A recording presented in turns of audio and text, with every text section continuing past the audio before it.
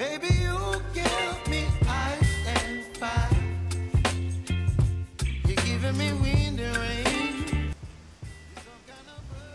Bună și bine v-am regăsit! Iată că a zburat așa ca un fluturaș luna ianuarie din 2023. Nu pot să zic că a zburat chiar așa de lin și de drăguț și de colorat, însă mi se pare că luna ianuarie a trecut cam greu, mi se pare că a fost cam lungă, nici nu prea îmi place mie iarna, deci poate să fie și asta unul dintre motivele care să mă fi făcut să mi se pară așa lungă și greuță. Așa a fost pentru mine, nu știu, spuneți-mi și voi cum a fost luna ianuarie pentru voi. Uh, uneori mi se pare că o lună zboară așa, imediat, uneori mi se pare că parcă a trecut cam greu. Da, trecem la clipul de astăzi și vreau să vă zic că îmi place să vin cu noutăți pentru voi, așa că astăzi facem un video diferit și vreau să vin la fiecare sfârșit de lună cu update-uri la parfumuri, vreau să vin cu favorite, cu dezamăgiri, cu uh, parfumuri pe care le-am descoperit pe parcursul lunii și mă bucur că au intrat în colecția mea sau nu.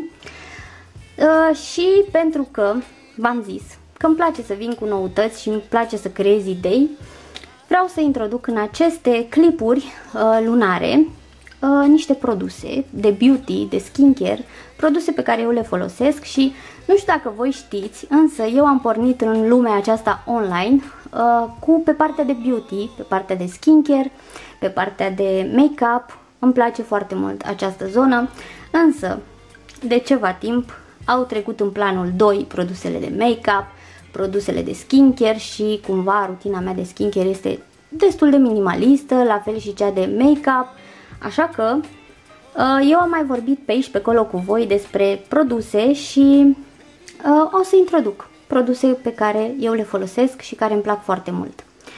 Așa că o să începem întâi cu parfumurile. Și pentru că luna ianuarie a fost așa, prima parte primăvară, a doua parte iarnă, o să încep cu prima parte din ianuarie care a fost mai pe primăvară așa și două parfumuri care au intrat în colecția mea și mă bucur enorm de mult că au intrat în colecția mea pentru că nu mă atrăgeau în primul rând și în al doilea rând nu aveam așteptări de la ele. Vorbim aici despre Idol și despre Aura Sensuel care îmi place la nebunie. Deci parfumul acesta este un pic floral, un pic dulce, un pic romantic, un pic vanilat și un pic verde. Însă, per total, mi se pare un parfum foarte bine făcut, foarte bine echilibrat, după cum vă spuneam, romantic și feminin și foarte frumos. Ador acest parfum, vreau să mai testez și altele de la Mugler, însă acesta este un așa, da, îmi place mult de tot. Și da, nu pot să zic că în luna ianuarie l-am purtat atât de mult, pentru că este oricum nou intrat în colecția mea, însă este un parfum um, care mă bucură și mă bucur foarte mult că l-am descoperit. Eu știu că ar fi cumva discontinuat, nu vreau să greșesc cu ceva. El se găsește încă, dar uh, da, este un parfum absolut superb, superb. Am citit recenzii proaste, asta m-a și făcut să nu am așteptări, însă eu am zis îl vreau, îmi place foarte mult sticla, prins și la un preț foarte bun și da, mă bucur că a intrat în colecția mea. Apoi, Idol, nu știu de ce nu mă atrăgea parfumul acesta. Habar nu am, nu am niciun motiv, însă la fel este un parfum foarte feminin, foarte eleganțel, uh, bine echilibrat, un pic floral, un pic fructat, dulceac, are acela ADN foarte frumos. Eu am uh, testat și nectar și îmi place mai mult acesta. Cele două parfumuri sunt atât de potrivite în perioada aceasta, nici prea rece, nici prea caldă, primăvara, cam așa, zic eu. Uh, dar uh, și în perioada rece merg de minune. Le ador, sunt două parfumuri de la care nu aveam așteptări, însă mă bucur că au intrat în colecția mea.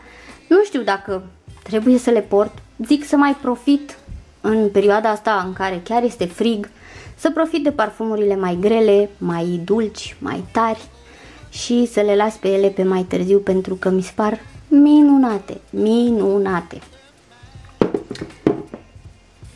Trecem mai departe la niște obsesii parfumate din luna uh, ianuarie și vorbim aici despre caramel de la Miraj pe care în continuare îl ador și mi se pare destul de versatil și o să-l port, o să-l mai vedeți la mine. V-am spus de atâtea ori de acest parfum și de atât de multe ori despre el, încât nu vreau să mă repet, este unul din favoritele mele și l-am purtat cu o mare plăcere și așa îl port de fiecare dată. Găsiți codurile mele de reducere în descrierea clipurilor. Apoi, la o altă obsesie, la Mojo, că v-am înnebunit și cu acesta, l-am purtat, apoi a intrat și Dia în colecția mea și am uh, purtat și Casablanca. Niște parfumuri foarte dulci, deci dacă vă plac parfumurile dulci, da, pot să vă atrag atenția. Uh, nu vreau să mai vorbesc prea mult despre ele pentru că, de exemplu, cu Twins am un video separat, o să vi-l pun în descriere. Uh, parfumuri care au fost cumva, le-am purtat cu mare plăcere și au fost favorite. Uh, da, v-am zis. Um, obsesii parfumate. Un alt parfum pe care l-am purtat cu mare plăcere când, uh, în perioada aceasta cât a fost frig și Doamne cât de frumos este acest parfum când este frig afară și îl porți și ieși afară și îl simți. Deci este minunat. By the Fireplace, Maison Margiela.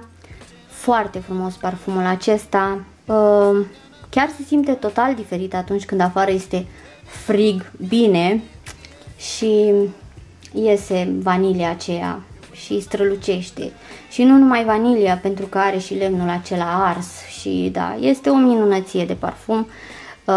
Uh, chiar îmi place la nebunie, chiar am consumat din el. Mai departe, vorbim despre un parfum care îmi place oricând și pe care l-am purtat în această perioadă pentru că uneori simt nevoia de ceva mai ușor, să fac pauză de la parfumurile prea dulci sau prea puternice pe care le port, că tot îmi spune lumea că port parfumuri prea dulci, asta este, asta îmi place, asta port. Aici vorbesc despre parfumurile pe care eu le port, mă bucur când rezonați cu mine, însă nici nu o să-mi schimb preferințele pentru că unor persoane nu le convine. Dacă nu rezonăm, Asta este. Oricum, gusturile se schimbă. Uh, ce să mai zic? Mai zic nimic. English Peren Frisia de la Joe Malone este unul dintre favoritele mele. Nu, este favoritul meu de la Joe Malone. Asta pentru că mi se pare un parfum nici prea floral, nici prea dulce.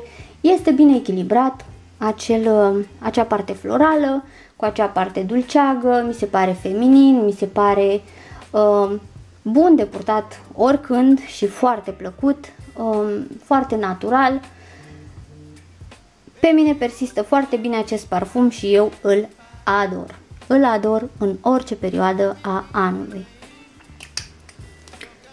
Ok, trecem mai departe la un alt parfum care uh, m-a bucurat foarte mult în ultima perioadă, mai ales uh, după ce nu am avut, nu m-am simțit eu prea bine și uh, am avut nevoie de ceva mai ușor, de ceva relaxant și de ceva care să mă bucure și vorbim aici despre uh, Guerlain, despre Mon Guerlain, apa de parfum. L-am purtat foarte mult zilele astea, mi-a plăcut enorm de mult. Am perioade când îl port în continuu și perioade când nu îl port.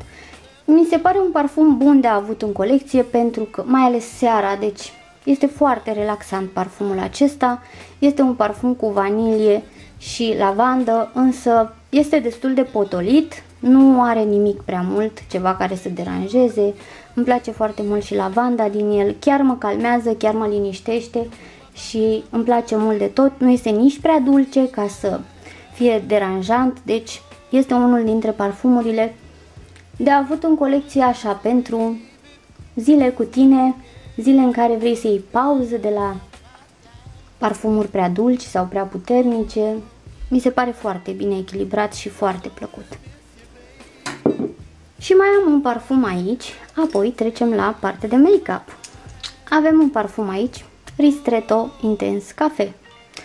De la început, parfumul nu pot să zic că mi-a adus bucurie 100%, însă l-am purtat zilele astea și nu prea mă mai regăsesc sau nu cred că m-am regăsit vreodată în el. Însă nici nu-mi place, nici nu-mi displace, este undeva acolo la mijloc, dar parcă nu mă bucură parfumul acesta și cred că o să fie în curând un declutter în care acesta o să intre. Nu prea am întins mâna după el, are trandafir, are caramel, are vanilie, cafea, nu este genul de cafea care să-mi placă mie prea tare, este genul acela de cafea uscată, de bob de cafea. Mie îmi place mai mult cafeaua asta, mai cafe latte și cafeaua în general, să știți că tot așa îmi place. Îmi place dulce, uh, dulce cu mult lapte, uh, cu arome. Ei bine, nu, cel puțin acum, că nu se știe niciodată la câte am mirosit și nu mi-au plăcut și apoi mi s-au părut interesante, adică nu pot să zic niciodată, niciodată, însă, momentan, parfumul ăsta nu mi-aduce bucurie. No, no, no. Așa. Și vreau să vă arăt și produsele despre care vorbeam uh, și sper să vă placă că mai introduc și chestii de genul ăsta în uh, clipurile mele. Un ruj pe care îl port cred că de un an jumate. Da, deci este un ruj pe care îl port doar pe el. Uh, mi se pare nuanța perfectă de nude. Nu mi se pare nici prea închis, nici nu este prea mult în evidență, însă totuși este plăcut și pentru un ruj baton chiar persistă, uh, se menține destul de bine pe buze. Am început acum cu persistă, cu din astea. Uh, vorbesc aici despre Pillow Talk de la Charlotte Tilbury, un ruj pe care eu îl ador de când l-am descoperit. Pe acesta l-am descoperit într-o cutie de la Sephora, într-o cutie de Crăciun. Așa este nuanța. O să vă fac eu aici un swatch.